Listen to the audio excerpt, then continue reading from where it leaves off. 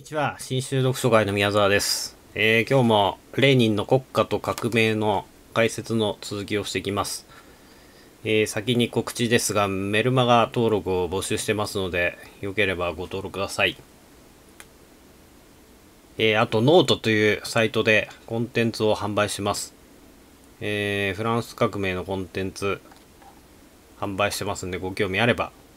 ご覧ください。えー YouTube の説明欄にリンクが貼ってあります。前回からの続きです。18ページ。例えば、1917年の革命において国家の意義と役割の問題がちょうど全幅的に持ち上がった時すなわち即時の行動、しかも大衆的な規模での行動の問題として実践的に持ち上がった時 SL 社会革命党とメンシェビキのすべては国家は階級を和解させるというプチブルジョア的理論へ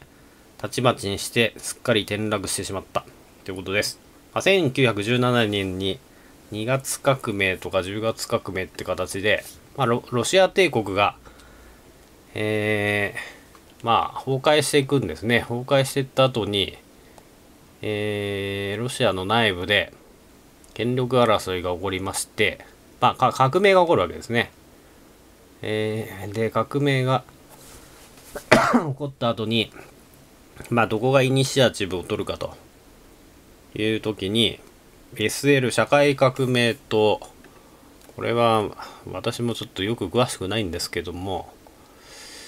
えー、ナロードニキっていうのなんですね。ナロードニキっていう昔からやってた社会社会農村の啓蒙と革命運動の組織化みたいなナロード2期運動ってなんですよ。濃度解放の後に起こった。まあ大体あんなカレニナのあのあの両便とかが考えてるようななんか 農村を中心にした改革みたいなやつですね。でああいうのをやってた人たちが作ったのが SL えー、でメンシェビキ。メンシェビキとボリシェビキってなんですね。これはえー社会主義、社会民主主義の人たちですね。社会ロシア社会民主労働党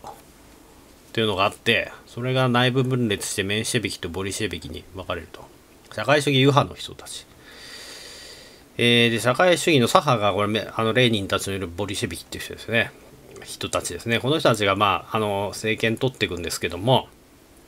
SL とメンシェビキは、えー国家は階級を和解させると思ってたと。だけど、ボリシェビキの人たちは国家っていうのは、あー、これはブルジョア階級の支配、ブルジョア階級支配の機関であると。抑圧機関だと。考えてたと。だから国家に、国家観が違うんですね。SL メンシェビキは国家は階級を通すと、階級対立を和解させると。ボリシェビキは国家はいずれあの、なくしていかなきゃいけないと。いうことを思ってたってことですね。まあ、だから階級対立をどう取るかってことですね。階級対立と国家の関係を言ってんですね、これね。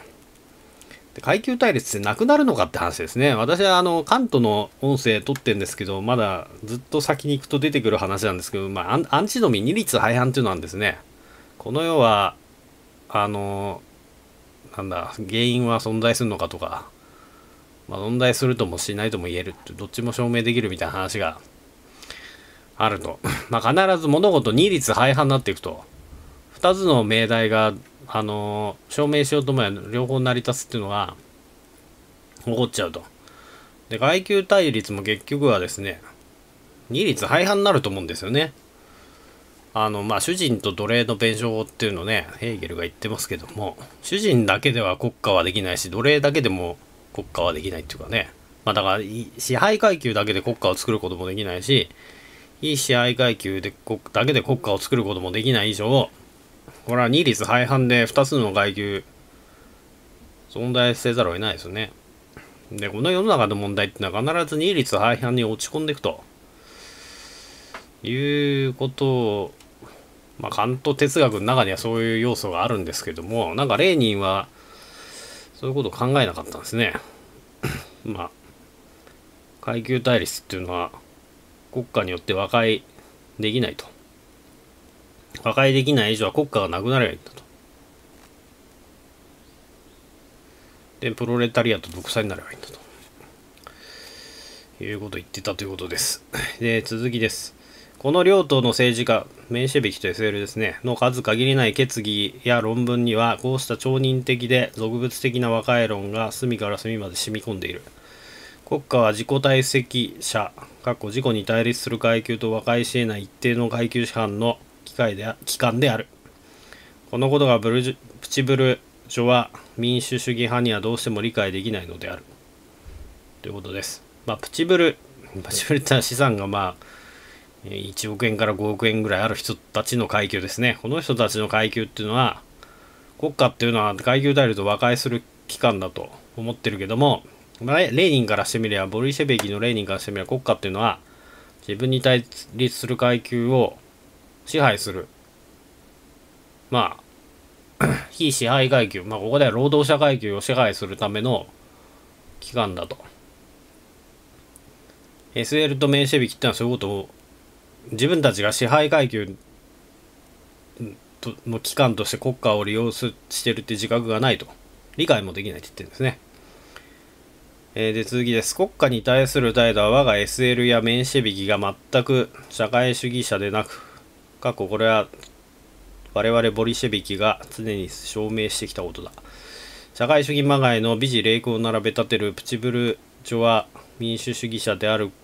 ことの最も明瞭な現れの一つである。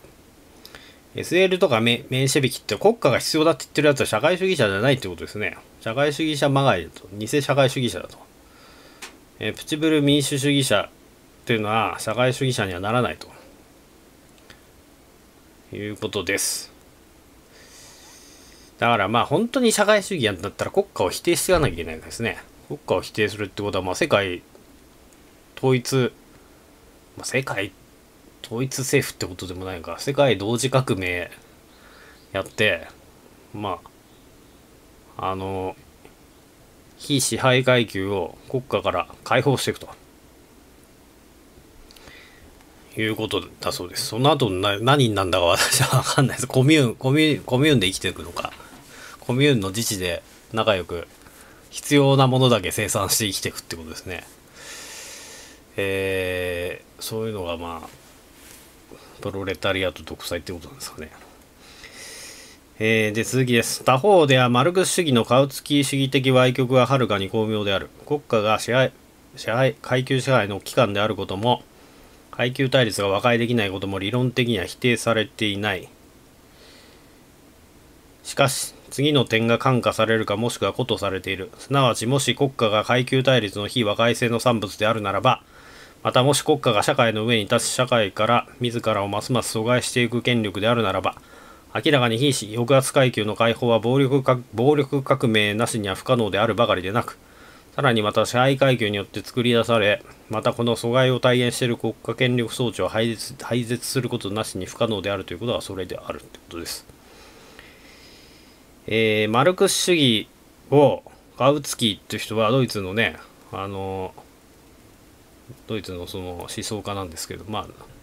マルクスと仲悪かった社会民主主義者ですね。でマルクス主義を外局してると。えー、で、彼らは、まあ、国家が階級支配の機関であることも、階級対立が和解できないことも、まあ、否定はしていないけども、実は一つの点で嘘ついてると。何何を嘘ついてるかっていうと、えー、国家っていうのは階級対立を和解できないそういうもんであるならばいずれ国家っていうのは暴力革命によって廃絶しなきゃいけないってことですね。ここで初めて暴力革命って言葉が出てくるんですけども ここがまあ重要なところですね、えー、いずれにしろ社会主義も共産主義も暴力革命によって国家を解体すると。なぜかっていうと国家っていうのは階級対立の矛盾の産物だからですね。非和解性っていうか、まあ、支配階級と非支配階級があたかも和解してるように見せかける何かだからですね。だからそういうものは暴力革命でぶっ壊さなきゃいけないと。こまあ、壊した後に何作るんだか知らないんですけども。これ壊した後どうなるのかこの後出てくるんですかね。私も読んだところで紹介してるんでわわかんないんですけども。えー、まあ暴力革命で国家を国家をなくすことで階級対立を終わらせると。いうことを言ってるんですね。だけど社会民主主義者ってのは絶対暴力革命って言わないですから。日本共産党は暴力革命をやろうとしてるんですかね。わかんないんですけどね。自民党から見ると暴力革命やる集団だっていうことですね。それがまあ日本の基本的な反響 反響っていうか反響だか暴挙だか知らないですけどもまあ暴力革命やりかねない人たちだから嫌だっていう強烈な嫌悪感がまあ日本の保守支配層には常に社会主義共産主義に対してあるということになっております。えー、でレーニンからしてみれば国家っていうのは社会の上に立つと。まあ社会は社会としてソサエティはソサエティとしてあるんですけど国家っていうのは常に階級対立をごまかすために存在してまあ治安を維持するわけですね。で治安を維持するために警察権力とか社会保障社会福祉とかを独占して生産手段も独占して人間を管理していくと。で管理してその中身は抑圧階級をの機関であると。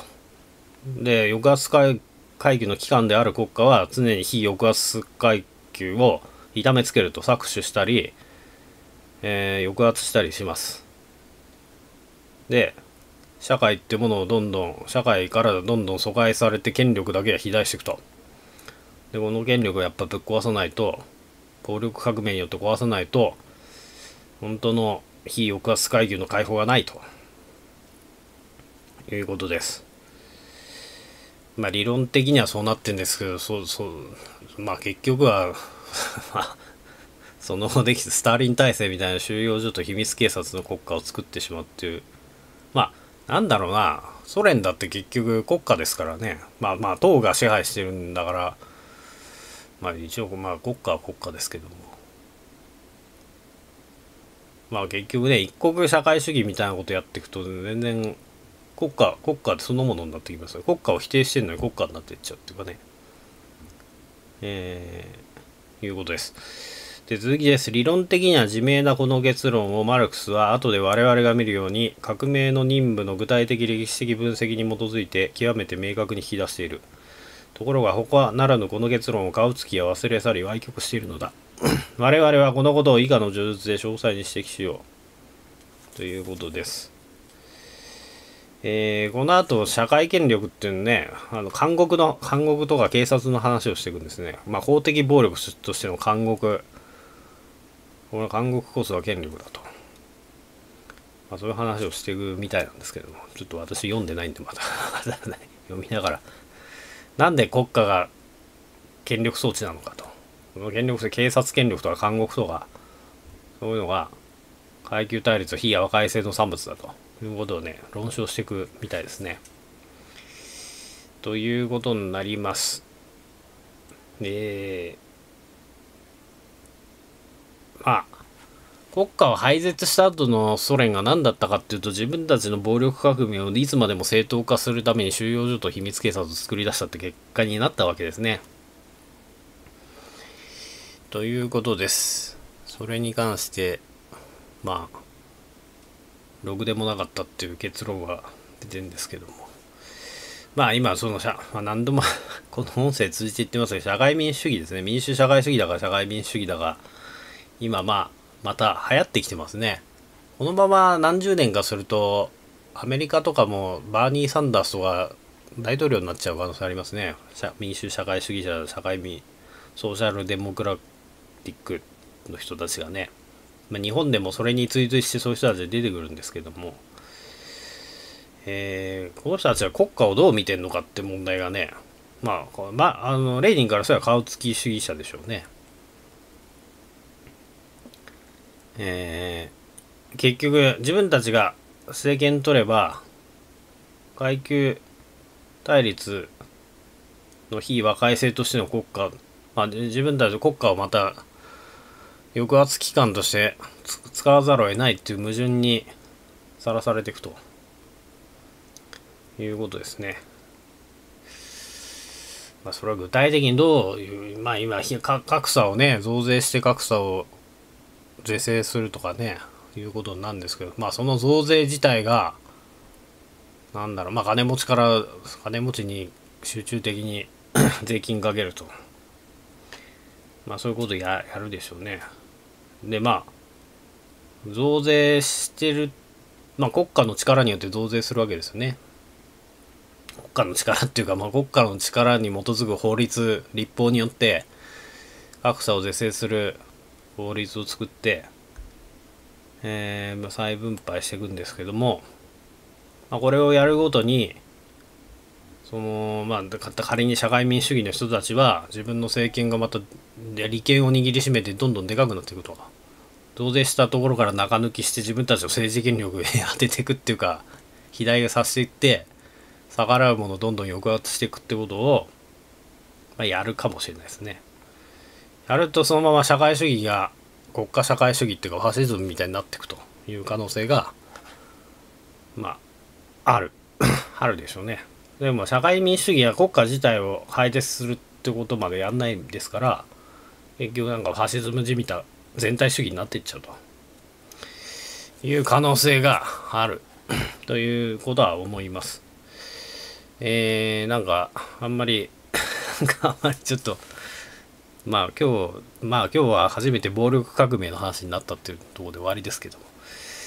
なんかあんまりうまく説明できなかったんですけども。まあこの書いてる文章がね、抽象的なんでね、何なんだって話なんですけどね。えー、最後まで聞いていただいてありがとうございました。以上です。